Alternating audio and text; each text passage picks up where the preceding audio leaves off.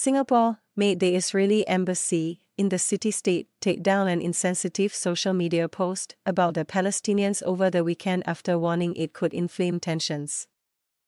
The Interior Minister said Monday.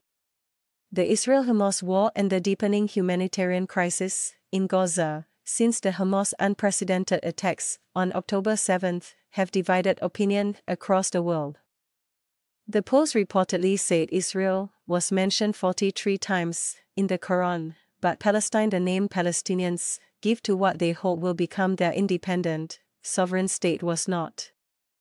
According to local media, Minister for Home Affairs, K. Shanmugam, said he asked Singapore's foreign ministry to tell the Israeli embassy to remove the post made on Sunday after learning about it. Which the mission immediately did. That post on the Israeli embassy social media page is completely unacceptable. I was very upset when I was told about it, Shanmugam told reporters. According to a transcript, it is insensitive and inappropriate. It carries the risk of undermining our safety, security, and harmony in Singapore. Shanmugam said the post had been taken down. Posts like this can inflame tensions and can put the Jewish community here at risk. The anger from the post can potentially spill over into the physical realm, he added. The Israeli embassy was not immediately available for comment.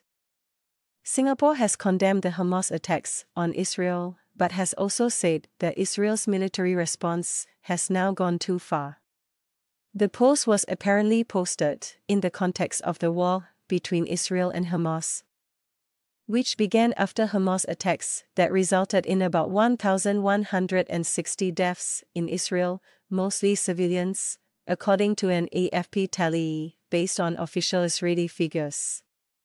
Israel has vowed to destroy the Hamas, who also seized about 250 hostages, of whom Israel believes around 130 remain in Gaza, including 33 presumed dead.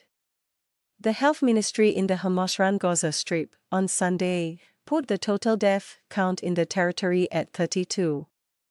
226, most of them women and children.